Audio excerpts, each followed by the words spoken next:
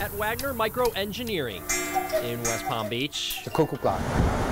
Or you could call it clock and watch repair. They do much, much longer. That's a made in Britain, Great Britain. John Wagner knows a thing or two about clocks. Oh, yes.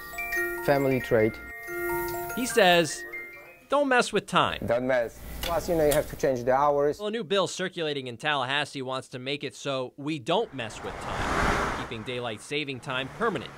Basically, in the Sunshine State, the sun would be out later. Longer day. Marshall Sklar The benefits are tremendous. is on board. He knows the struggle with his kids. It messes with their sleep cycle. They've been conditioned. What do I need? Hold on, whoa, whoa, whoa. As for the other side of things, though, it was tough to find someone for keeping things status quo. For us, it is. Rick Alfor. Let's go ahead. With right hook fishing charters, Keep going. Keep sees the benefits of clocks changing twice a year.